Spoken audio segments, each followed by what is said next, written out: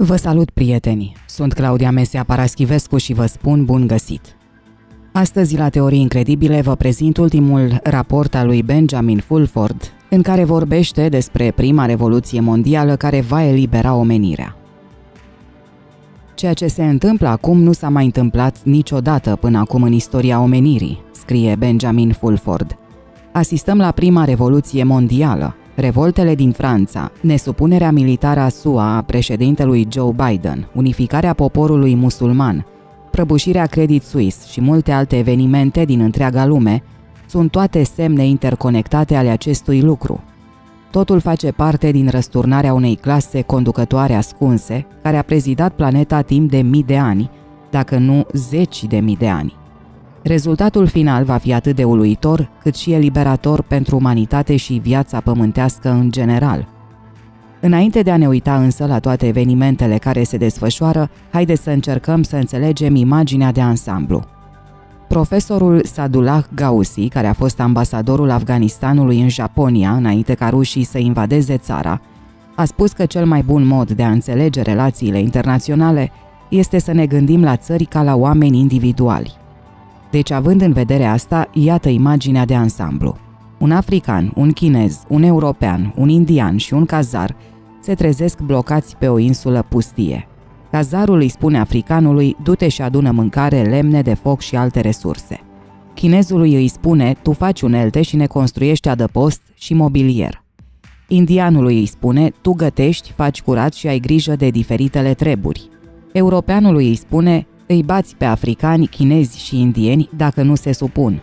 Tuturor le spune, odată ce v-ați terminat sarcinile, vă duceți să adunați scoici și pietre strălucitoare pentru mine. Apoi, spune grupului, după ce ați pregătit totul, voi lua cea mai bună mâncare și cea mai confortabilă mobilă și vă voi da cea mai rămas. Apoi, într-o noapte, în timp ce cazarul doarme, ceilalți indivizi se adună și spun cazarul nu face nimic, așa că de ce ar trebui să lucrăm pentru el? Europeanului, ceilalți îi spun, te ține drogat și otrăvit ca să-l asculți. Dacă lucrezi cu noi, te vom ajuta să te detoxifici, îți vom oferi colecția lui de scoici și ne vom asigura că primești o parte mai mare din mâncare. Așa că a doua zi dimineață ceilalți îi spun cazarului că va trebui să lucreze dacă vrea să continue să mănânce și să împartă insula cu ei. Când îi spune europeanului să meargă să-i bată pe ceilalți, este respins. Apoi amenință că va otrăvi pe toată lumea, va arunca în aer insula și așa mai departe, dar este o cacealma și practic se va apuca fie de lucrat, fie va fi aruncat la rechini.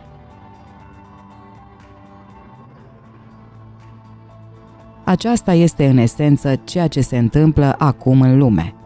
În Orientul Mijlociu, de exemplu, diferitele țări din regiune, inclusiv Egipt, Turcia, Iran și Arabia Saudită, au decis să nu mai predea petrolul lor către oculta cazară în schimbul numerelor de pe computerele băncilor. Acesta este motivul pentru care președintele Joe Biden a fost forțat să epuizeze rezerva strategică de petrol. Nu este de mirare că Moussa Ibrahim, fost purtător de cuvânt al lui Muammar Gaddafi, spunea că ceea ce se întâmplă între Arabia Saudită și Iran sub control chinez nu este puțin lucru, este o schimbare a puterii internaționale. Același lucru se întâmplă cu China și alte țări asiatice care cer acum plata în lucruri reale, cum ar fi aur și produse fizice din Statele Unite și alte țări occidentale. În Africa, un grup mare de țări a cerut ajutorul Rusiei pentru a-i opri pe Rothschildzii francezi să le fure resursele. Această alianță dintre Sudul global, Estul global și pălăriile albe occidentale duce la o implozie a sistemului financiar occidental – și la schimbarea regimului într-o varietate de țări. Scrie Benjamin Fulford.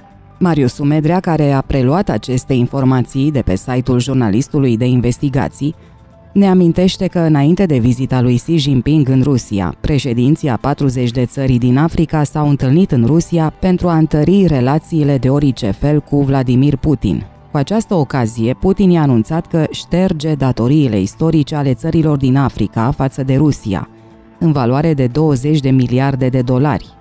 Deci, Occidentul devine tot mai izolat pe plan mondial. În continuare, Benjamin Fulford scrie că prăbușirea Credit Suisse este o reflectare a acestui lucru.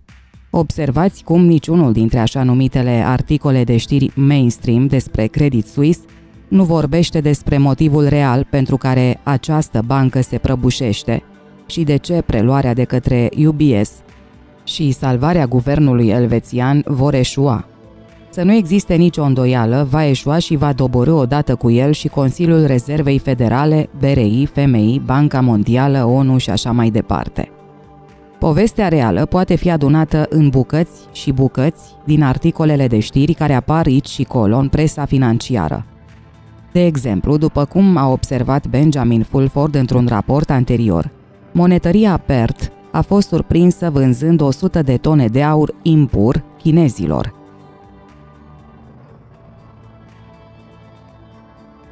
Acum, bursa de metale din Londra a descoperit saci de pietre în loc de nichelul care stă la baza contractelor sale la un depozit din Rotterdam.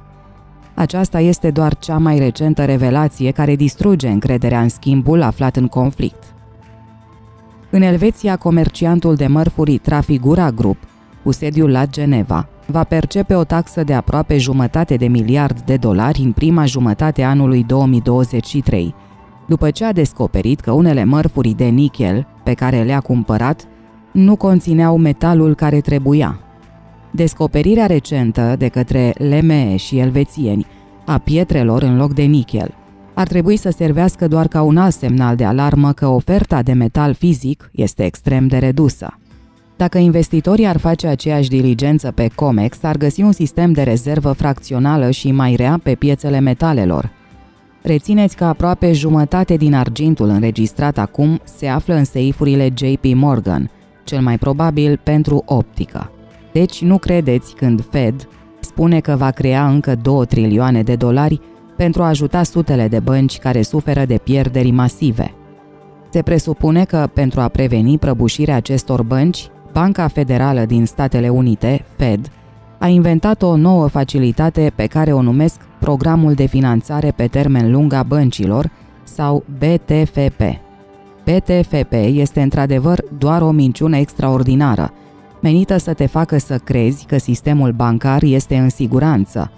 La fel de bine ar fi putut să-l numească Credeți în această ficțiune oameni buni, spune o sursă Mossad.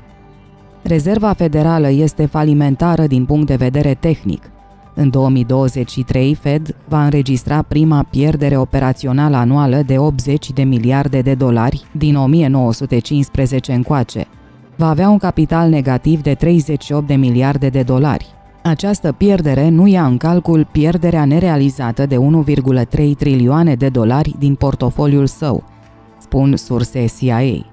Acum, băncile centrale din Canada, Anglia, Elveția și Uniunea Europeană au anunțat că schimburile de dolari vor crește de la săptămânal la zilnic. Informații găsiți și pe finance.yahoo.com. Ce înseamnă asta este că marile bănci centrale ale ocultei vor pompa zilnic dolari.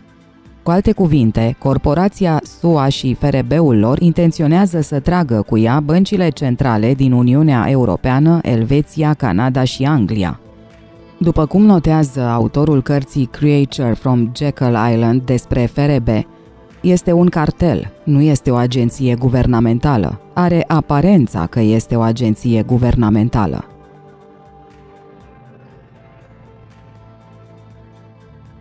Salvarea UBS nu este doar o încercare de a opri căderea dominourilor până când întregul sistem se prăbușește, ci și de a acoperi alte crime, spune șeful MI6.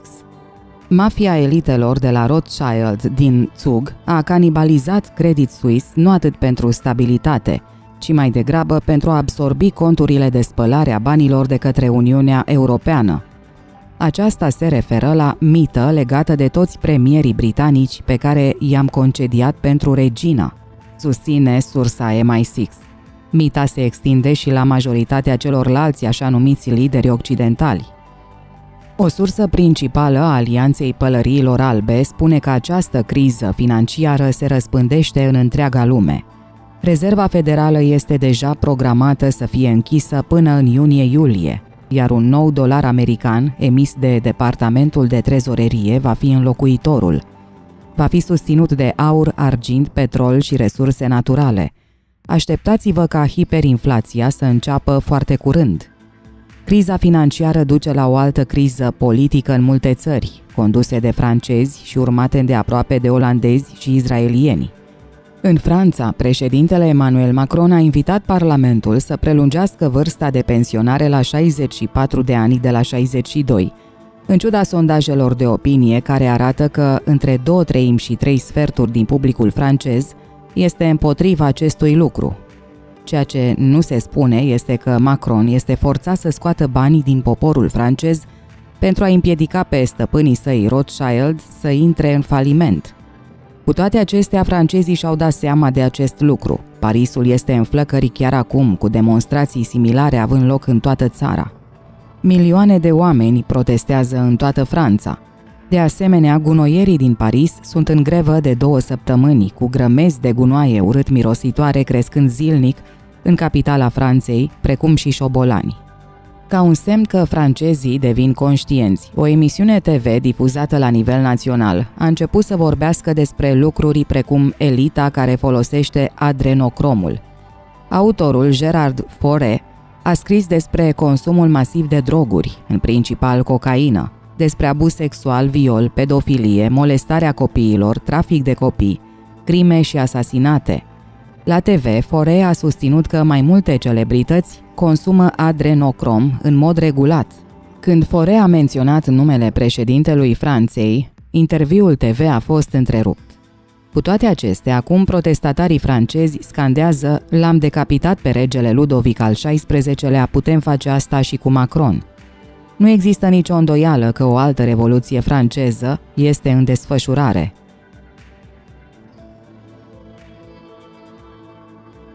În Olanda, partidul de protest al fermierilor a uimit politica olandeză, câștigând locuri la alegerile provinciale și devenind cel mai mare partid din Camera Superioară a Parlamentului.